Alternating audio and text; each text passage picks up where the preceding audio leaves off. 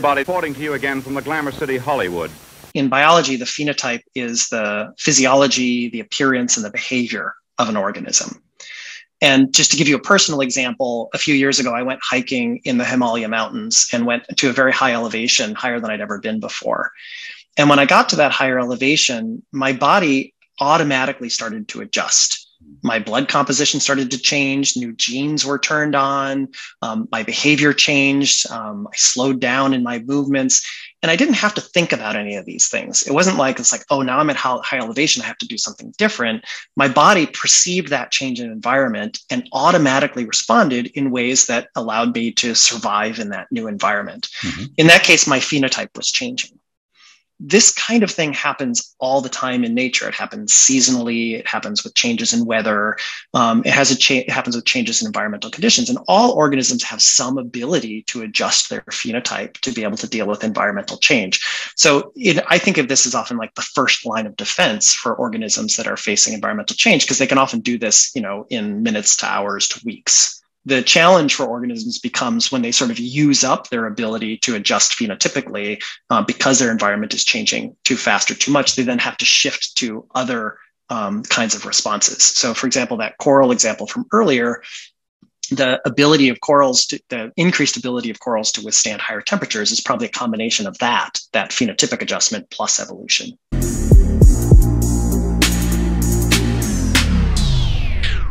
If you love listening to this show, please consider giving a rating and a review on Amazon Alexa or wherever you listen. We want to continue bringing you this amazing content, and part of our ability to do that means that we need a big audience. Now, it may not seem like much, but rating and reviewing the show will help more people find us, just like how you found this show. Simply on any podcast platform, search for a show, scroll down to the bottom, and push five stars. It's that easy. Thanks for supporting the show.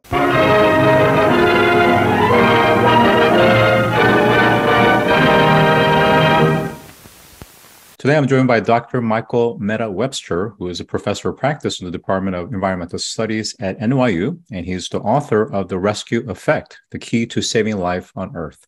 Welcome to the show today. Thank you. It's a pleasure to be here. So, you have a background in zoology, and your research focuses on how to promote the adaptation of species and ecosystems to ongoing environmental change. And of course, you've contributed to lots of different papers, including the one that's very well cited from Nature Population Diversity and the Portfolio Effect in Exploited Species, as an example. Can you tell us more about your areas of research? Sure. I was originally trained as an ecologist. So I worked on coral reefs mostly, trying to understand why different animals were found where they were, or why they were more or less abundant, and how that changed over time. Um, and I got my PhD doing that sort of research. But as I was doing that kind of research, I really got more and more concerned about how ecosystems were changing and working on coral reefs when things like coral bleaching were happening and coral reefs were changing very quickly. Um, I decided to make a career shift as I finished out my PhD and work more on the management and conservation side of things. So, how do we use information about ecosystems and species to do a better job of helping to manage and conserve them? So you, you mentioned coral reefs, and of course, before your um, your your current role at NYU, you were an executive director of the Coral Reef Alliance. I wonder if you could tell us a little bit about that particular role and how you saw firsthand maybe the power of reef building corals. Sure. So I was the executive director of the Coral Reef Alliance for about eight years. And you know, my role there as executive director was many, many fold, but one of them was to try and figure out what was this organization going to be doing to try and save coral reefs around the world. And this organization was very good at working with communities and helping to find ways that communities could benefit from their reefs, but uh, at the same time, not necessarily undermine those reefs, and looking for that sort of balance point between economic interests and conservation and I think that's a really promising way to think about conservation. But one of the questions that arose for me in that process was a bigger picture question around is that going to add up to something that's going to make a difference for coral reefs in the long run? Great to do small scale work. And that's actually put me on the path toward this book today, which is really thinking about the kinds of things we can do in conservation that are going to have a meaningful effect for organisms like corals that are experiencing a really rapidly changing world.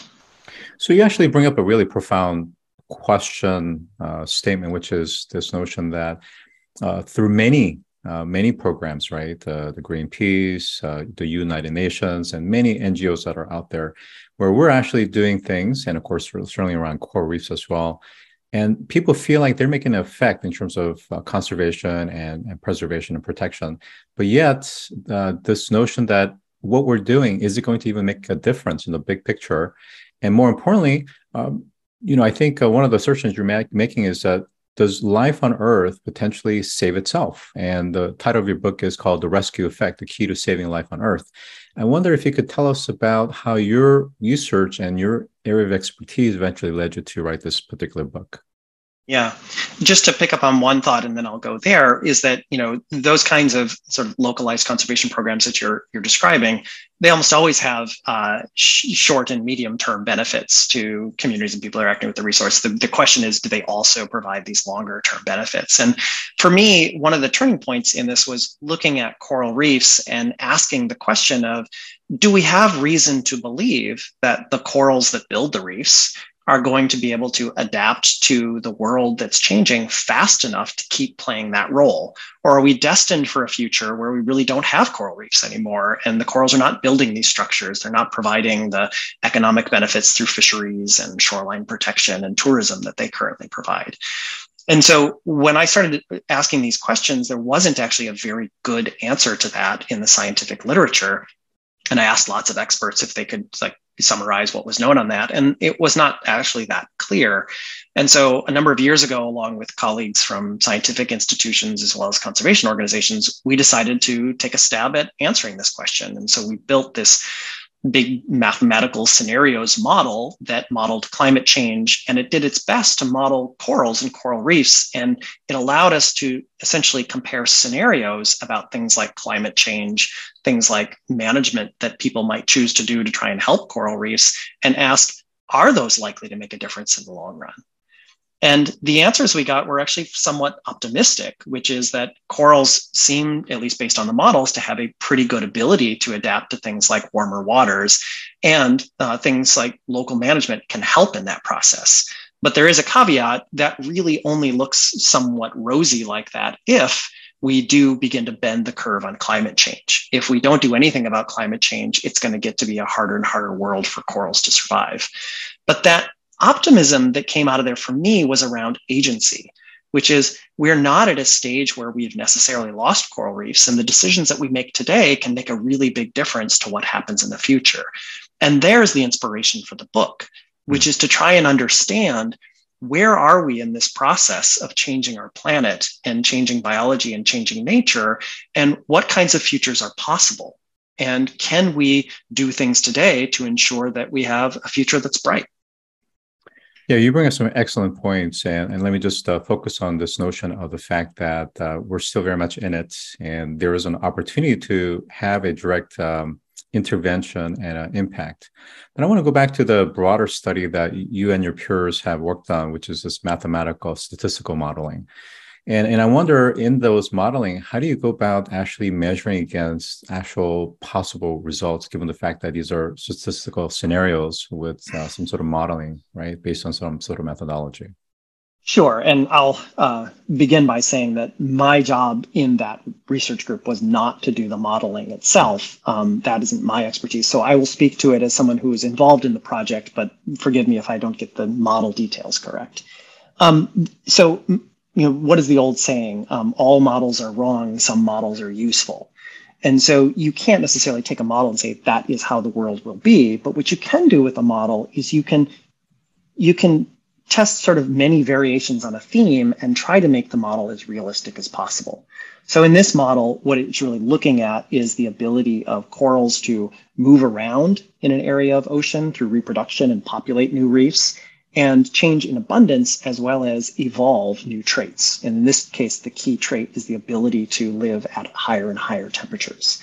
And there's some really important um, uh, parameters that go into that model, one of which is the what's called the heritable genetic variance of corals. And this is quantifies essentially how much of a coral's ability to live at higher or lower temperatures is determined genetically and how much variability in that trait exists across the population.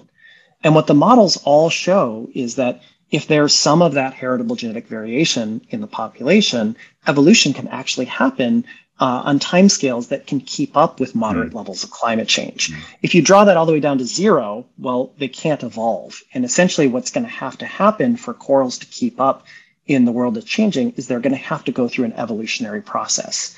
Now, we think that the parameters we're using, and we look across a range, are in the ballpark for corals. It's a difficult thing to measure, um, but realistic amounts of that variation do lead to um, evolution on these sort of decadal to century um, timescales.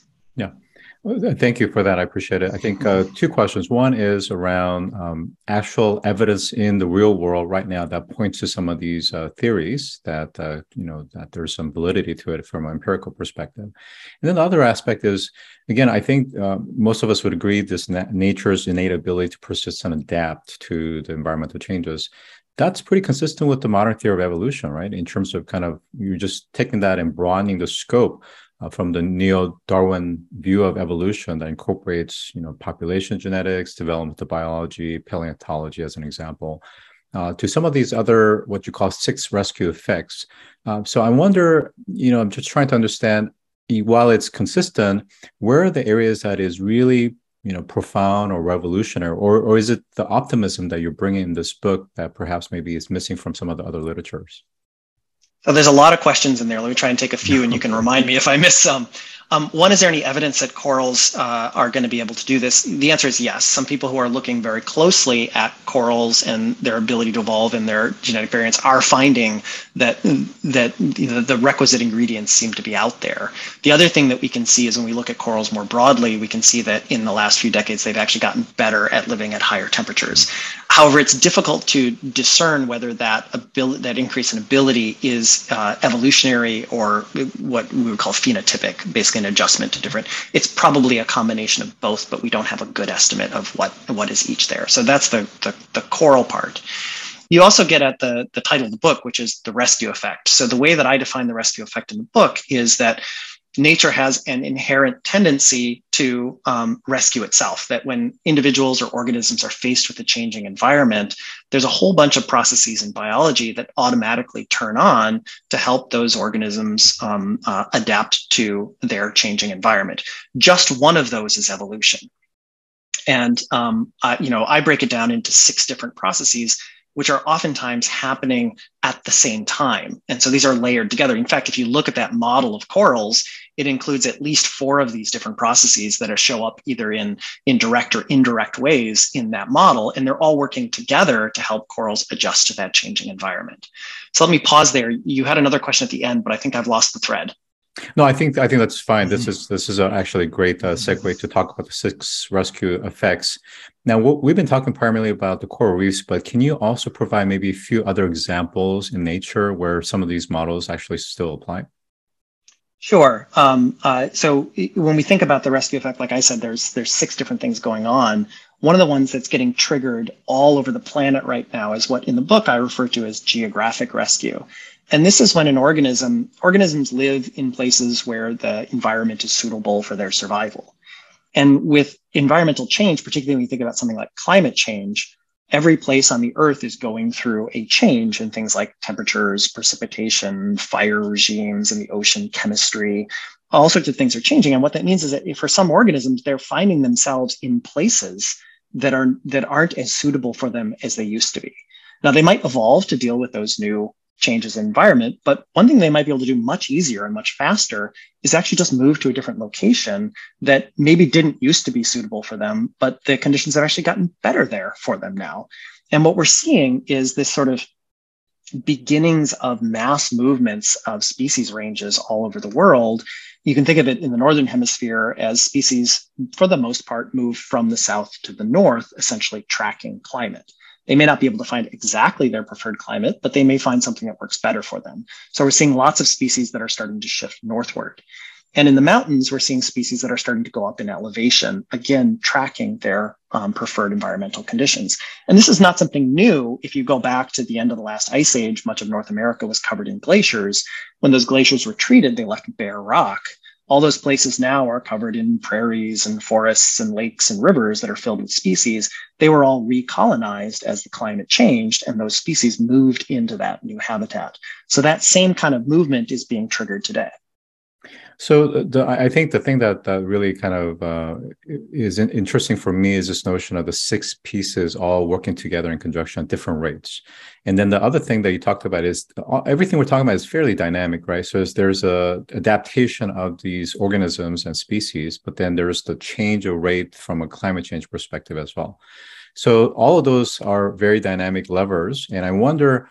Um, will all species, and again, this is a tough one, right? Uh, will all species be able to adapt quickly enough, or would some of them actually uh, likely go extinct? So that's one question. And the second thing is using the example of migration from south to north, there's going to be a finite set of area, whether it's in the water or land or ice, so there's a there's a scarcity right? And, and i wonder how some of that and some of the other six uh, attributes of the rescue effects come in to help mitigate some of those natural uh, scarcity issues.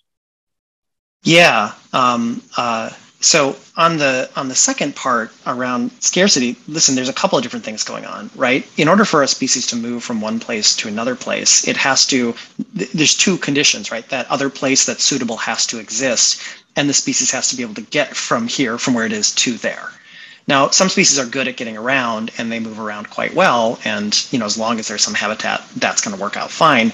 But one of the reasons I wanted to write this book is because we've got a whole bunch of new kind of dilemmas and challenges coming in conservation. And one of these is around species that need to move to persist. And do we start moving them on purpose? So, do we take things that are, say, in the South and pick them up and put them in the North where we think they're going to do better in the future?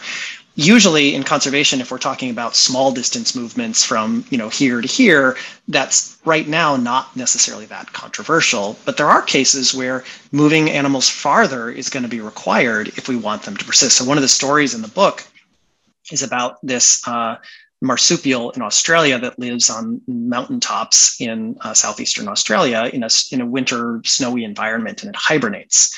Climate change is making its lifestyle more and more difficult. And there's a question about can they persist there? The answer is probably no. So that gets at your first question. Um, uh, we certainly will see more extinctions the faster that uh, change is happening, and not all species are going to be able to adapt in that case, people are actually considering picking some of those species, those individuals up, and moving them somewhere else uh, to see if they can survive in a completely different kind of habitat in another place where maybe they'll be able to persist going forward. And that kind of thing is a new kind of question in conservation. And there's lots of pros and cons. People mm-hmm. sometimes get concerned about moving new species to new places and what if they have negative effects. So how do we think about that as uh, you know people who have to make judgment calls really about whether these species are going to have a chance to persist? That, that, that is very interesting. And I, I, could definitely imagine some of the pros and cons around that.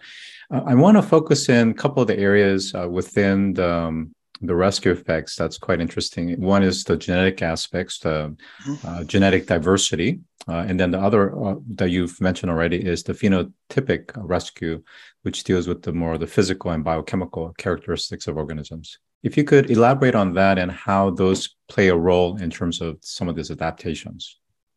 So, um, what I call in the book phenotypic rescue is uh, in in biology, the phenotype is the physiology, the appearance, and the behavior of an organism.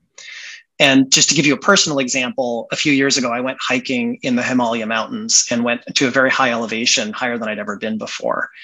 And when I got to that higher elevation, my body automatically started to adjust my blood composition started to change new genes were turned on um, my behavior changed um, i slowed down in my movements and i didn't have to think about any of these things. It wasn't like it's like oh now i'm at high elevation i have to do something different. My body perceived that change in environment and automatically responded in ways that allowed me to survive in that new environment. Mm-hmm. in that case my phenotype was changing this kind of thing happens all the time in nature. It happens seasonally. It happens with changes in weather. Um, it has a cha- it happens with changes in environmental conditions. And all organisms have some ability to adjust their phenotype to be able to deal with environmental change. So it, I think of this as often like the first line of defense for organisms that are facing environmental change because they can often do this, you know, in minutes to hours to weeks where they can change their phenotype. And so this is ubiquitous in nature. The challenge for organisms becomes when they sort of use up their ability to adjust phenotypically uh, because their environment is changing too fast or too much, they then have to shift to other um, kinds of responses. So, for example, that coral example from earlier, the ability of corals to the increased ability of corals to withstand higher temperatures is probably a combination of that, that phenotypic adjustment plus evolution. Yeah, makes perfect sense. Um, let's talk about the role of humans. And you started to provide maybe an example earlier. What is the role of humans, and how do you explain that in your book? Yeah. So the the the the concept of the rescue effect is really about what nature can do on its own to adjust to change. And based on what I've seen, organisms are quite good at this. So the rescue effect is quite strong in nature, but it's not all powerful. and so what happens for organisms is that as the rate of change goes up and the amount of change increases, the ability of the rescue effect to keep up gets you know more and more questionable. And so if we want organisms to survive, if we want species to persist, there's really two ways that we can work this equation. One is we can try and reduce the rate of change and I would say, especially on things like global climate change. If we can begin to bend that curve on climate change, it's going to make a difference for almost all life on Earth. So that's the biggest one in terms of changing the rates. The other way we work this equation is to look at the rescue effect and those six different components of the rescue effect. We have tools in conservation to essentially artificially boost all of those. So we can look to what nature is capable on of its own, and then we can try and find ways to increase the amount or um, rate at which any of those processes is working to help organisms adapt faster. So on the on the latter part that you mentioned, um, help us to understand uh, because so much of the effort uh, like we talked about early on in terms of ngo is fairly localized so how do we make these effects uh, on a global scale using some of these um, some of these methodologies some of these I would go species by species. So to give you an example, one of the chapters in the book is about the American chestnut tree which disappeared from eastern North America's forests starting at about 1904 when it got hit by a disease that was accidentally imported from Asia. This disease, over a period of decades, went on to wipe out pretty much every tree in that system. Now, these trees didn't go extinct because they kept growing from their roots. And so there were uh, uh, little suckers that kept coming up. And people decided they wanted to try and bring this tree back, but the disease had become endemic in the environment. Mm-hmm. So they looked for some trees that maybe showed a little bit of resistance to the disease and started to try to breed them. This is selective breeding. And in some cases, selective breeding does work and allows an organism to get through uh, something like a new disease. In this case, it didn't work. There actually wasn't enough of that genetic variance for ability to resist this disease. So people started doing something a little bit more radical. They took Asian species of chestnut trees that had evolutionary history with the disease. And they mm. started making hybrids with American species of chestnut trees, hoping that the hybrids would look a little bit like an American chestnut, taste a little bit like an American chestnut, but have the disease resistant of one of these the resistance of one of these Asian species. And they've been doing that crossbreeding for 100 years now with some effect. They've got trees that are better at dealing with the disease and have a mix of traits between the two species. More recently, researchers have used genetic engineering to try and give the pure American chestnut tree um, some new evolutionary capabilities. And they've taken a single gene out of wheat, which helps wheat fight fungal diseases. Mm. And they've inserted that gene into the genome of an American chestnut and now these genetically modified chestnut trees are better at fighting the disease and surviving. In fact, we're at this point right now where they're actually seeking um, approval to freely plant these trees um, from the USDA and other federal agencies. And so we're at a point in conservation where we have um, potentially our very first genetically modified organism for conservation, which shows a couple of things. One, it shows that we can use things like biotechnology for conservation, but it's also teeing up this conservation, this, this more bigger, broader conversation about values and ethics and whether those are the right tools to be using and whether we want to have genetically modified trees. And so it's a, it's a very interesting sort of microcosm for how technology is interacting with conservation and raising all sorts of new questions. Yeah, it's fascinating, and I, I love I love that you're introducing uh, notions of uh, gene editing, such as CRISPR-Cas9. So, in the case of uh, you know the chestnut trees, makes perfect sense. Uh, but things or large organisms, let's take the example of whales, for instance, where mm-hmm. many of them have been beaching, and you know they're getting um, uh, um, stranded, and and many of them are are dying. Dying. How do you actually help them? Um, and given the fact that they're all over the globe. So I'm not an expert on whales, so uh, I'm on a little bit of thin ice here. Um, I, I, don't I don't necessarily believe that beaching um, stranding is what's necessarily causing whales to be at risk of extinction. The reality is we have a fraught history with whales, and you know humans used to hunt a lot of whales and cause a lot of whale populations to decline precipitously with the end of most commercial whaling on the planet, actually, a lot of whales have bounced back. And using the terminology from the book, they've bounced back through reproductive rescue and have uh, um, uh, their populations have increased tremendously. There are some species for which that's not true. For example, northern right whales are having a really hard time coming back. And again, here's where I'm on thin ice. My understanding is that a lot of the mortality for those animals is coming from things like um, fishing gear and entanglement, mm-hmm. as well as uh, strikes from um, a large scale, uh, you know, like container ships in the ocean and tankers. Um, and so I may have gotten that a little bit wrong, but the but if you want a species that is suffering from that kind of problem to persist, you actually have to go at those sources of mortality and say, how can we actually reduce or mitigate these sources of mortality? Because at a certain point, species can only handle so much external mortality before their populations begin to decline. So, in some ways, that's a little bit more traditional conservation, where, for example, if, ship strikes are the problem, maybe you can reroute shipping routes to avoid high density whale areas but that will come at a cost because those shipping lanes are designed to be most efficient from a fuel and a time perspective. So it, essentially, it's a societal cost. If you want uh, whales not to get hit by ships and you're willing to drive the ships farther, great. But at the end of the day, it's either going to have to be, you know, regulated or uh, incentivized in order to get that uh, change in behavior. So this is a, a great segue to my uh, follow-up question, which is around human intervention and how do we actually create this collective action? So you know, as we speak, uh, I think the world is very much uh, at the doorstep of a global recession. Yeah, so you're starting to see economies and state actors that have very much been a, a big advocate for uh, climate action, backpedaling a little bit in terms of you know going back to petrol-based uh, oil and gas, as well as saying you know fighting domestic inflation is more important than let's say you know climate change summit as an example.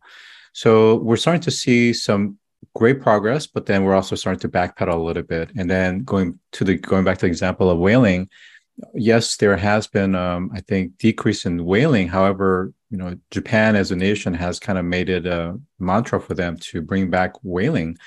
And so, so there's you know a lot of Greenpeace uh, Greenpeace efforts being made to intervene uh, against some of these ships that are going out there harpooning these whales. So, talk about um, how do we create this global collective action to yeah. really make a difference because of the fact is no one part of a, a, earth can actually make this happen unless everybody's united. Yeah i mean listen i don't have a silver bullet you know magic answer for you that's just going to make all these problems go away. At the end of the day conservation is hard work. Um, it takes a long time and it really only happens because people value nature and they choose to um, fight for it. And you've listed many different conservation NGOs that do that kind of work. At the end of the day, if you care about nature and you want to do something about it, there's a few different things you can do. One, you can look target the species of the ecosystems that you really care about and either try and do something for them yourself or try and support those organizations that are actively trying to save those species. Um, on the other end of it, you know, I think the solving climate is really a global question that is sort of undeniably requires cooperation from people around the world there are things that individuals can do with respect to their uh, climate footprint and trying to reduce their personal effect on that. But at the end of the day, pe- well meaning people are not going to, I don't believe, just add up to a solution to climate change. We have to get governments, uh, you know, local, regional, national, and international on board with making what are probably going to be some harder decisions about shifting energy sources uh, and investment that is, that is definitely not my expertise area for how we do that.